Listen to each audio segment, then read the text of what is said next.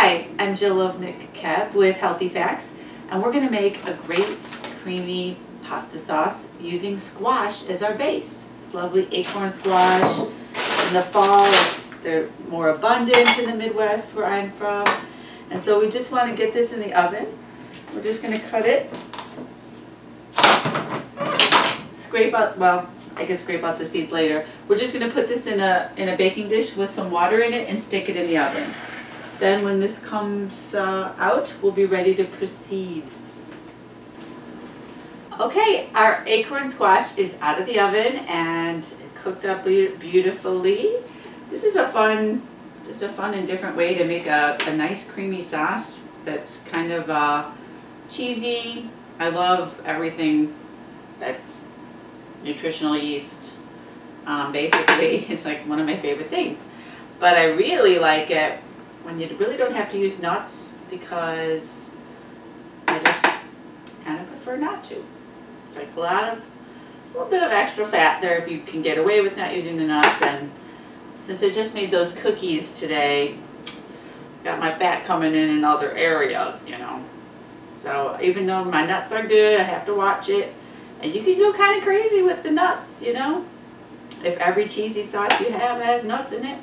So um, cashews, I think, are technically a fruit. I mean, or maybe a seed, I'm not sure, but they are still high in fat. And this squash is no fat and it has tons of antioxidants in it. And it's really delicious. So also, we'll, we'll taste this to see if I do need a little bit of maple syrup because um, we might not. You have to alter recipes. You know, I'm really bad at measuring, so I'm going to put a capful in of my nutritional yeast, or nooch as my good friend Lori calls it. And then this, this uh, parsley, fresh parsley, I try to take off a lot, some of the stems, but you know, I don't really get too worried about the stems. So there you go. But a cup of parsley. You can do a little bit less if you don't like parsley.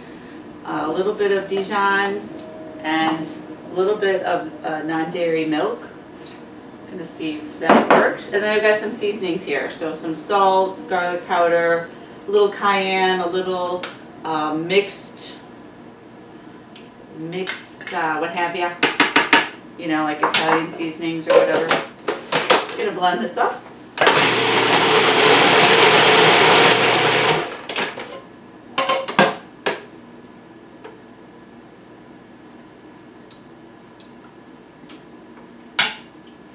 Wow, it's really good. I love it. And I love fresh parsley. So it's creamy and delicious and I don't know if I need my maple syrup on this one. My, um, like I said, taste your acorn squash or, you know, if you want to add a little tamari. I did add some salt in there with the seasoning so it's plenty salty and it's just really good and flavorful and fresh and yummy and healthy. What's not to like?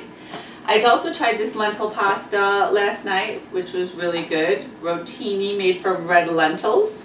It's a little bit pricey at uh, $8.99, but I tried it.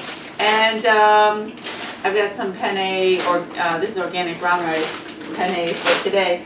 Once my water is boiling and just right before right before um, the cook time on the pasta is done, like a minute or two, two minutes probably, I'm going to throw in my mushrooms and then my peas, which were frozen, and you don't have to, they'll just kind of quickly cook those, or my mushrooms will still be a little bit um, al dente. And we'll be one pot, drain, add your sauce, put a little of that shredded um, Parmesan. Have you seen that Follow Your Heart has the shredded Parmesan? Very exciting. Good stuff. A great dinner, really healthy for a fall lovely dinner to take advantage of our squashes. I'm Jill of Keb with Healthy Facts. Thanks for watching and keep taking good care of yourself. You're worth it.